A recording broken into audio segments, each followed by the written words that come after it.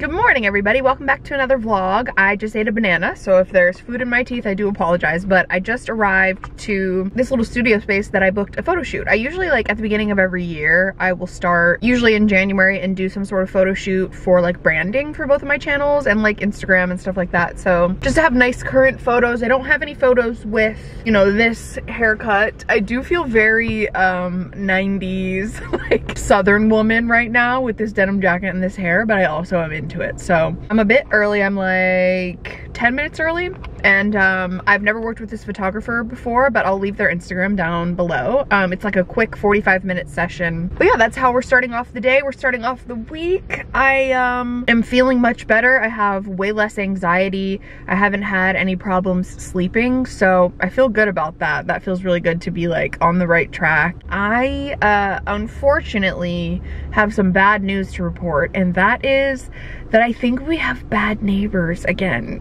Uh, it's been over a year and a half and we've honestly, like there have been times, it's no one in our building, but the building next door has just some of the craziest stuff like the cops get called on them all the time and people are moving in and out and screaming and fighting and like it's just chaotic. But probably like two three months ago this family moved in and they leave their windows open all day long and their kids scream all day every day. And not just like ha ha ha like you know typical kid. It's like full on like it's kind of concerning. But anyways they also have two dogs and they leave their dogs out on their balcony like all the time. And this happened with like another family that lived there before but then they moved out and they leave these dogs outside at like one o'clock in the morning and they're outside barking and it's directly outside my bedroom window.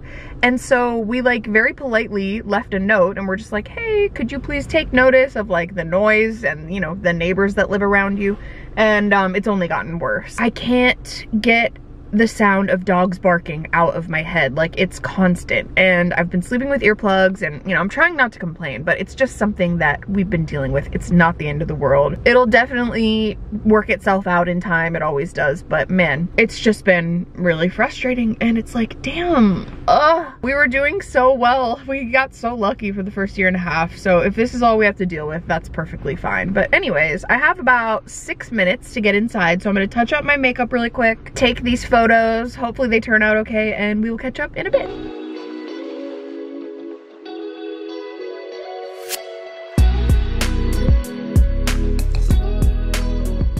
Hey besties, we are done with the shoot. It was so fast and so easy and so amazing. The photographer was incredible. Oh my gosh, I felt so welcome. I felt so comfortable instantly. Like just the warmest, kindest person ever. We were just chatting the entire time. It just was so much fun as well. Like I genuinely had a freaking blast and it was over in 45 minutes. So that's me done for the day. And I actually like, I don't know why I thought this was gonna take way more time. Um, so now I have like so much free time. I think I might go take a nice little walk because it's such a beautiful day outside. Like the actual audacity of this weather. I do feel kind of bad saying that because I know that there are snowstorms and things happening in pretty much every other state. It's like Oregon, Tennessee. My dad was FaceTiming me yesterday and his entire yard is covered in snow. And like it snows in Tennessee, but not that much. Like it was like a full blown snowstorm. So freaking cool. I mean, I personally love snow, but I'm not trying to rub it in. But it's like beautiful weather. So I think I might take a little little stroll outside and just enjoy this beautiful freaking weather and maybe like get a smoothie or something, who knows.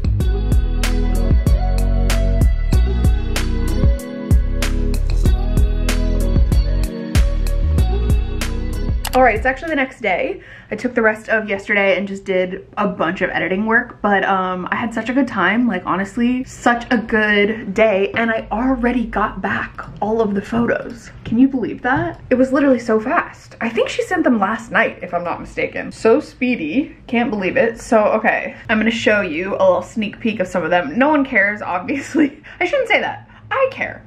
Actually, let me redirect what I was just about to say. Honestly, it was just so much fun and it was something that I'm doing, you know, for myself and for my business and so I shouldn't downplay it. It was really fun. Anyways, okay, look at these. Let me just show you this. Like, I'm sorry. This was the like thumbnail photo that she chose.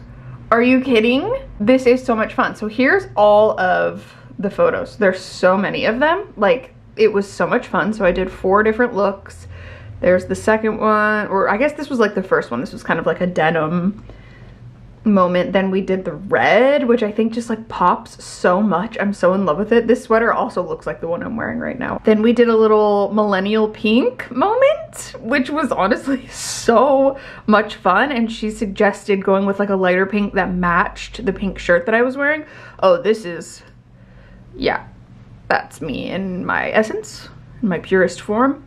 But like, they're so cute. And then we did a couple um this was the third look. We did like we played around with some prisms which was really fun. And then we did do a couple like proper headshots in case i ever need to submit them for anything. So like you know it's giving i'm gonna sell you a house. But that was fun. So I sent back like the things, the, the ones that I wanted edited. So I just thought I would share. But yeah, um, also something funny that happened yesterday because you know how I talked about like our neighbors and stuff. And this isn't those same neighbors, but it is like the same next door neighbors building, if that makes sense. Um, there is a group of like I would assume they have to be at least 18, but they literally look like 16 year old boys. There's probably like five of them that live in this apartment. I don't understand it, but they all drive like very, very, very, very, very nice cars. Like they all drive like BMWs, Mercedes. They must be like TikTokers or influencers or something like that. But one of them in particular drives his car down the street in our neighborhood when he pulls out of the building he revs his engine so loud in case you just want a little bit of the neighborhood tea. In case you're nosy like me and drew and just like want to know what's going on at all times. Drew is the neighborhood creep. He will be looking out the window and reporting back with what's happening and i love it. But um anyways he always pulls out in this car that has some sort of like exhaust on it or something like that and he revs his engine so loudly that it almost feels, I mean, it's like, it, I've started laughing a few times because it's just so obnoxious and there have been multiple, I mean, if not every time when he does this, he sets off all of the car alarms of the cars that are parked on the street and it's just like such asshole behavior, you know, just like I, I, I guess I want to say typical teenagers, but I, I wasn't like that as a teenager. Anyways, he does it all the time and it's just kind of like whatever, you get used to it, it's over in like 15 seconds anyway, but you hear him going like all the way down the block, just like, like revving that thing so loud. Sometimes I think it like causes his engine to backfire and it sounds like gunshots. Anyways, it's a whole thing. So yesterday he was doing it and I wasn't even paying any attention and he started like you know revving it up. You can always hear it right when he turns his car on all the way until he's like a mile away. And he was pulling out and he did that. He pulled out onto the street and like took off. And then all of a sudden we heard boop boop. And a police officer was right there and literally pulled him over like instantaneously. Just boop, pulled him right over. And so drew literally like, oh my God, I think that kid just got pulled over. And I was like, shut up. So we like ran over to the window, couldn't really see. So we literally went outside. We went outside. I don't even think I was wearing shoes. I just wanted to like peek and see. And sure enough, blue lights were on. He was pulled over. I was just like, oh my God, that is the most satisfying instant karma I have ever seen in my entire life. It just made me so happy. I'm sorry, man it was just like so satisfying and you can't take that away from me. I thought it was hilarious in case you wanted a little bit more neighbor tea. And also, yeah, like with what I was talking about yesterday at the beginning of this vlog, like it's not a huge deal. I don't want it to become like another big thing, another big series. It really is like nowhere near as bad as it was before. It's just the situation. In case you missed it, because I didn't really explain that very well, a lot of you were here, but a lot of you weren't. So in 2019 and 2020, or actually I guess it was 2020 when these people moved in. We just moved into the wrong building and we were surrounded by like 18 to 20 year olds who were just like partying through the pandemic, through the peak of the pandemic where you're supposed to be staying home and isolating and all that kind of stuff. And they like DJ'd and they had parties all the time until like five, six in the morning. Um, Layla was having surgery on her leg at that time. So like we couldn't go anywhere. I mean, we couldn't go anywhere anyways. It was just so massively stressful and they were playing their instruments outside. Like they were like jam banding and like there was one apartment in particular and we got into like this standoff and they came and knocked on my door at one in the morning and were confronting me. Anyways, it was like a whole thing. So Drew and I truly like when we moved back to Arizona and we moved into that house for two years, years. Like we just wanted no drama. We wanted to just mind our own business and we still very much want to do that. Work so cool with everyone in our building, like dream neighbor situation. It's just the building next door. I mean, you can't you can't control it but I like I said it's not a big deal. It's just something funny to laugh about because this is the choice that you make. When you live in a big city you're just you're gonna be living on top of each other and that's just how it works. So I have thought about maybe going over there and asking the people with the dogs if they like want the dogs to like hang out here during the day. Like do you want like do you want some help with the dogs? You want them to come hang out over here? Because like they're really cute dogs. I just talked for a very long time, didn't I? I actually have some more computer work to get done. I have to kind of like script out a couple of videos or just outline a couple of main channel videos that I need to do because I am going to be doing a little kind of like test run with another editor for this year. So I need to just make sure that like the things that I'm filming are actually coherent and I'm not just relying on myself to like edit it together, you know? I have some work to do, so we will check in in a bit, but I just thought I would give you a lovely little satisfying neighbors update. Love to see it. Oh God. Good morning. Here's your reminder to make your bed.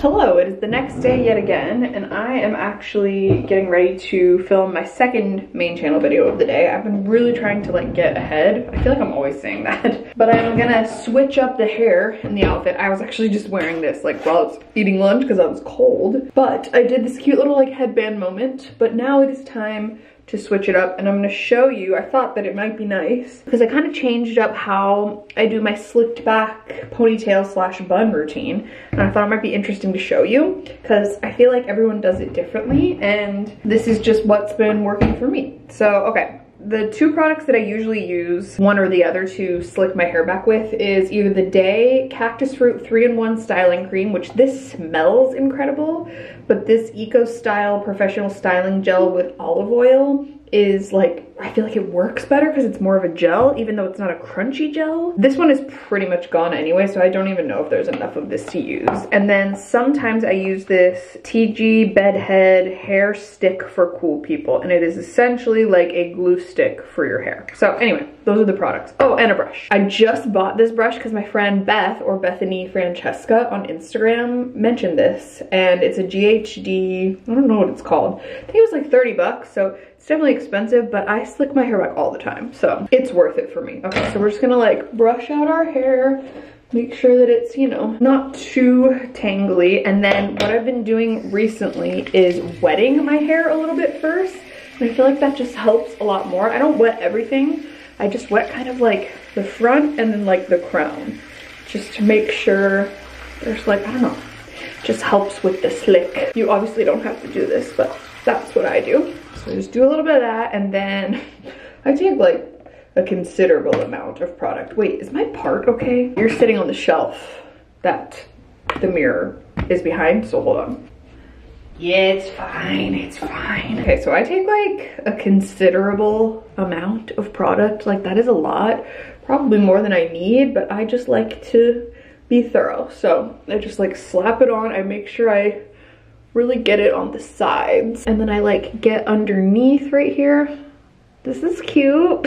I just try to rub it in as much as possible, like get it all in the roots because that's where you're gonna need the hold. Obviously, I'm only speaking for myself with like my particular hair texture. This is what I do that works for me. So far, so good. Okay, I'm gonna rinse that off. And then we're gonna go in with the regular brush first. Can you see me? I don't know. So I'm just using like whatever regular brush you have, just kind of like brushing it in whatever sort of like position you want. So I think I just want like a nice low ponytail. I don't think I want a bun. So we'll start gathering. This is gonna be very hard to do because you are actually my mirror in the viewfinder right now and my eyesight is terrible. So some people do more of like a this type of slick back. Some people do more of like a pulling your hair back type of thing. I go back and forth between the two. You're just gonna take as much as you can, brush as much out, as many of the bumps as possible. Okay, there we go. Then when you feel like you've got it in like an okay place, you can go in with your bristle brush. And I feel like this helps a lot. So you definitely wanna get one that's for this specific type of thing, like a fine, brushes like that with the good bristles will really help a lot. So I don't actually pull that that tight for these, and I just use a scrunchie, so nothing super damaging but I just brush forever until my arms feel like they're gonna fall off, basically. Okay, then when you've got the place where you want it, you just secure it. I think I'm just gonna do a ponytail. And there you have it. You have your nice slicked moment. However, just to like make sure nothing budges. A lot of times I will go in, actually right now it looks okay, but sometimes I'll go in with this stick and you literally just like rub it on your hair. But I'm not gonna add wax to my hair if I don't need to. But this really helps, especially with like flyaways and stuff. Very, very nice. So maybe I'll finish, finish it with some hairspray. Boom. And there we have it. Very quick and easy. This entire clip was six minutes and 39 seconds long. However, I talked a lot. So if you weren't talking and going through each of the products and things like that, it takes like three minutes. It's very nice. I'm gonna do a quick makeup touch up and then film the second video of the day. This one has a sponsor, so it's always just like more complicated. And I am starting to work with an editor for my main channel just once a week. And um, like filming when you know someone else is gonna be watching your footage is the most bizarre thing ever and like you just act so awkward. So please freaking pray for me in this process, like genuinely. I don't know what I'm doing, but I'm doing my best. Okay, let's get this over with and then we will catch up in a bit because we gotta talk about shows. We gotta talk about it. All right, we're done. We did it we got the video done. I filmed two main channel videos today. I'm very proud of myself for that. And it is absolutely chill time now. It is lay horizontal on the couch and do not a damn thing. And I could not be happier about it. We have been watching Love Island All Stars. We started it last night. We gotta sit down and chat about this because you know I'm a Love Island girly. I think Drew and I started watching it in maybe 2022 or maybe it was 2021, but either way, we got into it and we got so addicted. There are like, I think this is like the 11th, 12th season. My God. If you didn't know Love Island All-Stars was happening right now, it is. And it's so iconic. We only watched the first episode and it was the, I'm not gonna give any spoilers away, but it was the most iconic episode maybe yet. Like I was just like, oh wow, they're really, they're really doing it they're really doing the most this year and like I couldn't be more excited about it. I'm literally so excited. We have I think now three more episodes to catch up on because we like wanted to wait a little bit so we could have a few to watch at once. And I mean, oh my god, I can't wait. Yeah, Love Island is a dating show in the UK and they have a US version, they have Australia, and then I think this summer they did a version where like all of those people met up and stuff and like, mm, not that into it. But this one is all of the UK All-Stars, so it's people from all 11 seasons before or 10 seasons before this and they all go into a house together and like new people are coming in all the time and like oh my god it's so iconic. I literally can't believe it. Drew and I have only seen seasons four onward so I didn't I don't think we saw the first three seasons yet. Um you don't really, I mean, there's a couple people I don't know of yet. I mean, unless it's going to be heavily like seasons one through three people, there probably won't be because those seasons are a bit older, but there are people from like season one, definitely. We'll see what ends up happening, but oh my god, I love it so much. I can't even begin to describe. And we have like quite a few ITV shows that we've been wanting to watch as well. Um, have we watched any? Oh, we did watch for like a US friendly version because for Love Island in the UK, you can watch it I think on Hulu here, but it comes out on a delay, so it's like a week late or something like that. So Drew and I have a VPN. A VPN is what makes you be able to watch the shows in the UK because they're very strict about that. They like don't want other people watching it. I'm like, don't you want more viewers? I don't understand. But um, we did watch a show recently on Netflix called Fool Me Once, which is another Harlan Coben book that was turned into a show. And he did, he's an American author, but he mainly writes these books that turn into shows that are entirely cast by British people. So he did Safe, he did The Five, he did The Stranger. There's a few other ones that we've seen as well. Some of them were like in, in other languages and stuff, but those are the three main ones that we had seen. And there were a couple others that I already forgot the name of that we saw too, but this one was really good. It was just you're like, what? Like there are twists and turns and stuff and it just felt silly at some points, but it definitely is worth watching. So yeah, it's called Fool Me Once. Definitely recommend that on Netflix. There's an ITV show that I wanted to watch that's from the same creators as Happy Valley, which is like one of our favorite shows of all time. If you can find a way to watch Happy Valley, it used to be on, I think Netflix, but now it might be on Amazon Prime, but I think you might have to buy it. I can't remember. It is one of the best shows of all time. There's a show that came out apparently on ITV recently from the same creators or producers as Happy Valley. So I'm like, well, obviously we need to watch that. So that'll probably be something that we watch this weekend. I think there's only one season so far. And then I also saw people talking about, I think it's called Mr. Bates versus the Post Office or something like that. And it's like a series covering a true story of Welsh post office workers who were like, I think falsely like accused of things or falsely imprisoned or something? Am I mistaken? Let me look this up. I'm at my little desk here now so I can fact check as I'm chatting. The extraordinary story of the greatest miscarriage of justice in British legal history where hundreds of innocent sub-postmasters and postmistresses were wrongly accused of theft, fraud, and false accounting due to a defective IT system. Yes, please. That sounds so interesting. So anyway, there, no one asked for that, but there you go. There's some of my favorite recommendations. If you know one thing about me, it is that I am passionate about my British shows, especially like if it has anything to do with crime. Like I just love it so much. Drew and I have already been talking about going back to England because we just miss it. We They won't let us live there, so we're just gonna visit. We thought about maybe going back for our anniversary, but it's like we were just there in October, so like going back in March feels like a lot, but also would love to go back and you know Alexa and I want to go back together too so gotta start thinking about that but man watching the shows at least makes me feel like I have a part of that with me. When I watch like Love Island or when I watch any of my crime shows or whatever it's just it's very cozy it's comforting I don't know what it is but I love it. So anyway we're gonna get into our comfies watch our Love Island and that's probably gonna be it for this vlog. So thank you so much for being here. I appreciate you watching this vlog. Like I always want to apologize sometimes times because I'm like, what even was this? Was this even entertaining at all? But y'all keep coming back and I love you for it. So thank you so much. If there are things in particular that you love seeing in vlogs specifically of mine,